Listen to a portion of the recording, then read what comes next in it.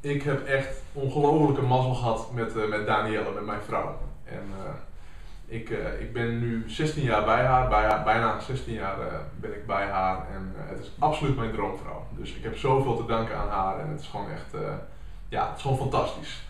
En ehm, wat ik wilde zeggen is dat ik heb daar heel veel mazzel mee gehad. En niet iedereen heeft daar mazzel mee. En ik hoop dat jij mazzel hebt met de liefde van je leven bijvoorbeeld. Ehm, maar soms is dat niet altijd het geval, nou prima. Soms is het wel het geval, maar dan snapt die liefde van je leven bijvoorbeeld niet volledig wat je doet met je business. En dat is heel goed te begrijpen. Alleen ik zie wel dat een hele grote beperking van heel, van ons, heel veel van onze coachingklanten is dat de partner niet volledig begrijpt wat, uh, wat hij of zij doet. En dat er daardoor een bepaalde wrijving is uh, in de relatie.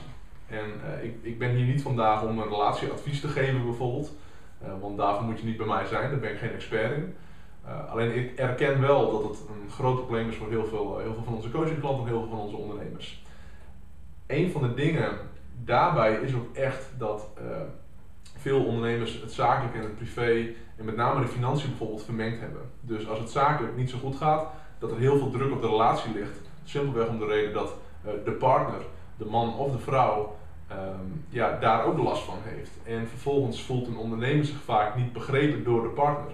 Omdat een ondernemer keihard werkt, die heeft 50, 60, 70, 80 uur per week. Er komt niet voldoende inkomen binnen, daar heeft hij al stress van. En vervolgens zegt de partner tegen die ondernemer: Ja, wat doe je nou allemaal? Want er komt geen geld binnen en we kunnen onze hypotheek niet betalen. We kunnen de huur niet betalen of wat dan ook. Dat zijn hele lastige situaties. En uh, ja, ik moet ook zeggen dat in het begin, ik denk een jaar of tien geleden, uh, iets langer misschien nog wel, dan zat ik, ik was echt helemaal verslaafd aan eBay. Dus ik kocht en verkocht gigantisch veel op eBay. Dus altijd als Danielle bij mij kwam, ik woonde toen nog in Groningen, ik, eh, ik huurde daar een appartementje. En als Danielle bij mij kwam en ze zag me weer die, die, website met die vier verschillende kleuren, uh, eBay dus. Um, en ik was mijn business aan het bouwen, zo voelde ik dat. En ik weet nog dat Danielle toen op dat moment tegen me zei ja, ben je weer aan het internetten?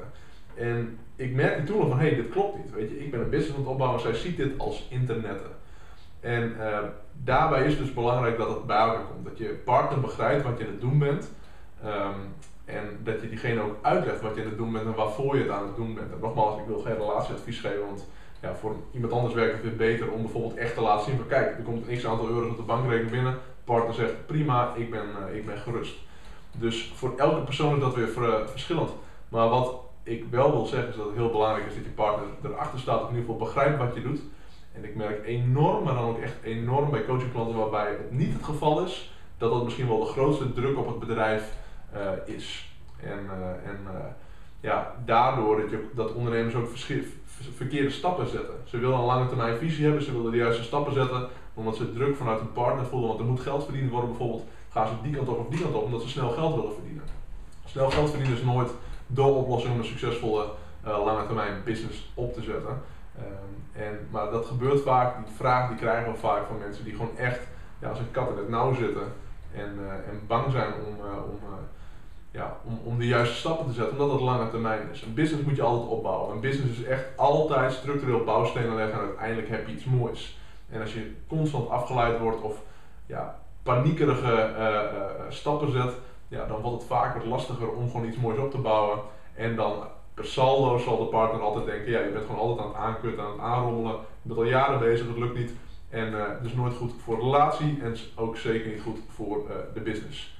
Ik heb niet de concrete tip vandaag, alleen ik wil je, uh, ja, ik wil gewoon, ja, eigenlijk wil ik dat je hier een inzicht over krijgt. Misschien gaat het allemaal hartstikke goed en is het fantastisch. misschien is het wrijving um, en, en is er wat aan te doen. Misschien ben je lekker vrijgezel en is het allemaal helemaal geen issue. Hoe dan ook, ik wil je heel veel succes wensen met je business en uh, tot een volgende video. Doei!